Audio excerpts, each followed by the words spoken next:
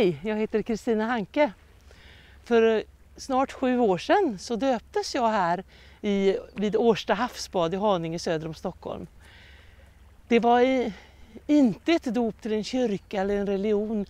Det var inte någonting av tvång. Det var en, ett vittnesbörd och en offentliggörande av min tillhörighet till Kristus.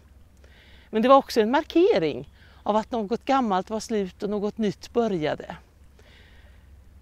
Jag lämnade en, eh, en prestationsbaserad tro inför för nåden hos Gud och jag tror att min livsresa um, kan åskådliggöra hur det är att lämna en sådan um, organisation.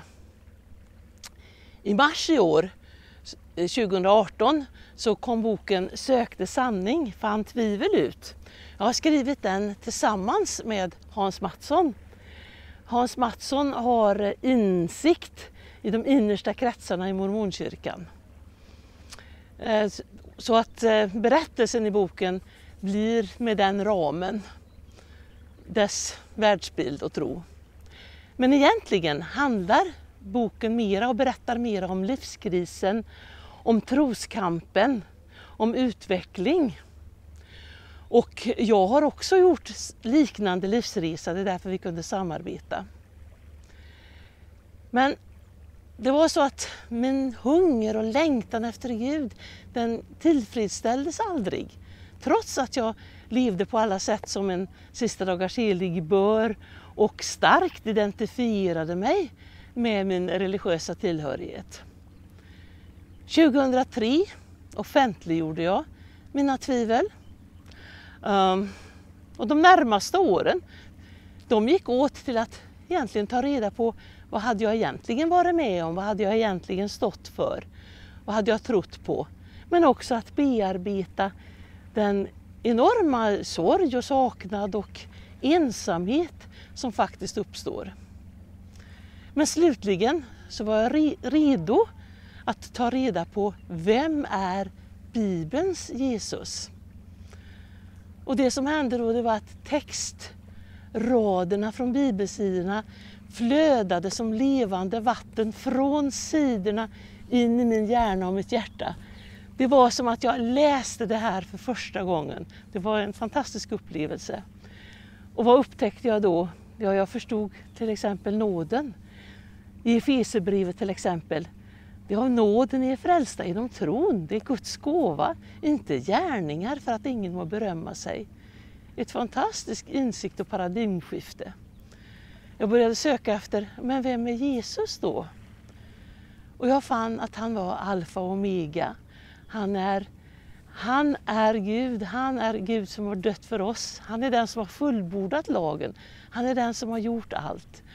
Han är den som har gjort att förlåten i templet har rämnat mitt i tu och gjort vägen till Gud öppen och fri. Och så kom frågan, men vem är jag då? Paulus skriver, medan vi ännu vore syndare. Jesus dog för oss medan vi ännu vore syndare. Jag är en syndare, det hade jag inte tänkt förut. Så att jag då kunde lägga ihop de tre sakerna, att nåden, vem är Jesus, vem är jag, så blev det en, en helhet av allt samman som jag är otroligt glad och tacksam för. Men vart skulle jag ta vägen nu? Jag började invandra i den kristna världen. Jag blev en immigrant med bagage. Eh, jag satt i kyrkbänkar runt omkring i Stockholm och grät för att de andra i bänkarna inte var mitt folk. Inte var de sista dagars heliga som jag hade levt mitt liv med, som jag kände och förstod. Det var jättesvårt. Men det är nog sådant som man kanske inte kan förstå om man inte har upplevt det själv. Um, jag tror att jag genom mina erfarenheter kan dela med mig vad det är att tillhöra och också lämna en sluten organisation. Jag tror att den kontrasten är värd någonting även för mig för att när man har levt i en annan typ av sanningar så blir glädjen och entusiasmen och den enorma hängivenheten till nåden den blir väldigt speciell för man vet vad det är att kämpa med någonting annat. Det tror jag kan dela. Jag kan också, tror jag, dela livskrisen, Eh, kampen och så vidare. När Hans Mattsson och jag skapade boken så bygger den på timmar och dagar av samtal och samtal om det liv vi levde, vad som hände oss och om att lämna. Och hans fru Birgitta deltog mycket i dessa samtal också. Men så småningom så utvecklades våra samtal till att handla om hur hittar man Gud? Orden blev annorlunda, de andade så småningom ett sökande. Om du tror att eh, din församling kunde ha glädje av att eh, träffa mig, föredrag, samtal eller annat så har XP Media mina kontaktuppgifter.